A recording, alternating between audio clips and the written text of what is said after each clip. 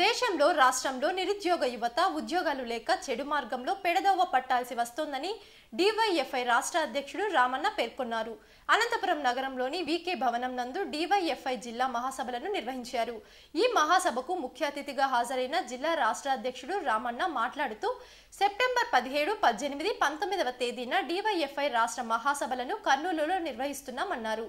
ఈ సందర్భంగా రాష్ట్రంలో ఇరవై ఆరు జిల్లాలలో కమిటీల ఏర్పాటు చేసి రాష్ట్ర నాయకత్వాన్ని ఎన్నుకోనున్నట్లు తెలిపారు.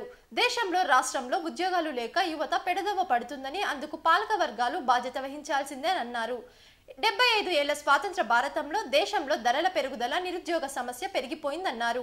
డివైఎఫ్ఐ ప్రధాన సమస్యలపై ఎప్పటికప్పుడు యువత విద్యార్థులను చైతన్యపరుస్తూ వస్తుందన్నారు. రాబోయే రెండు సంవత్సరాల కాలంలో ప్రధాన సమస్యలపై రాష్ట్ర మహాసభల్లో చర్చించి ఉద్యమ కార్యాచరణ రూపొందిస్తామన్నారు. ఎప్పటికప్పుడు యూత్ యువకుల్లో చైతన్యం కలిగిస్తూ దేశభక్తి భావాలు పెంపొందిస్తూ జాతీయ నాయకుల జయంతుల వర్ధంతి నిర్వహిస్తూ అనేక శ్రమదాన సేవ కార్యక్రమాలతో ఈరోజు డివైఎఫ్ఐ దేశంలోని ఒక ప్రధాన యువన సంఘంగా అత్యధిక సభ్యత కలిగిన సంఘంగా ఈరోజు డివైఎఫ్ఐ ఉంది ఈ అనంతపురం జిల్లాలో కూడా అనేక ఉద్యమాలు నిరుద్యోగ సమస్య మీద కానీ జాబ్ విషయం మీద కానీ అలాగే కరోనా కాలంలో డివైఎఫ్ఐ కార్యకర్తలందరూ కూడా వాలంటీర్లుగా ప్రాణాలు తెగించి సేవలు చేసే పరిస్థితి ఈ జిల్లాలో ఉంది. ఇంకా రాబోయే రోజుల్లో ఈ జిల్లా ఉద్యమం నిర్మించుకోవడం కోసం ఈరోజు జిల్లా మహాసభ వేదిక కానుంది.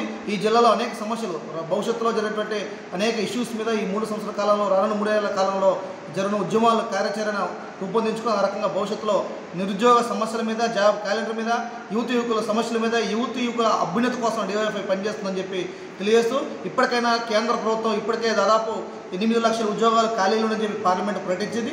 ఆ ఖాళీలు వెంటనే భర్తీ చేయాలి. రాష్ట్ర ముఖ్యమంత్రి జగన్మోహన్ రెడ్డి గారు ప్రతి ఏటా క్యాలెండర్ అని చెప్పాడు. మూడేళ్ళ తర్వాత ప్రకటించిన జాబ్ క్యాలెండర్లో పదివేలు ఉద్యోగాలు ఉన్నాయి. కాబట్టి ఇప్పటికైనా రెండు లక్షల ముప్పై ఆరు ఉద్యోగాలు ఖాళీలు ఉన్నట్టు ప్రభుత్వం చెప్తా ఉంది. కానీ కేవలం పదివేలు ఐదు వేలు రెండు వేలు ఉన్నట్టుగా ఈరోజు ప్రకటన చేస్తూ ఉంది. తక్షణమే రెండు లక్షల ఉద్యోగాలకు భర్తీకి నోటిఫికేషన్ ఇవ్వాలని అలాగే ఇరవై ఐదు వేల పైగా టీచర్ పోస్ట్ ఖాళీ ఉన్నాయి. ఓ పక్క స్కూల్ మెచ్చేస్తూ విలీనం పేరుతో స్కూల్ మూసేస్తూ మరో పక్క డిఎస్ నిర్వహించకుండా ఈ మూడేళ్ళలో ప్రతి ఏటా డిఎస్ అని చెప్పారు. ఒక్క ఏడు కూడా డిఎస్ రాలేదు. అందుకని ఇరవై ఐదు వేల ఉద్యోగాలతో కూడిన డిఎస్ ప్రకటన చేయాలని చెప్పి డివైఎఫ్ఐ రేపు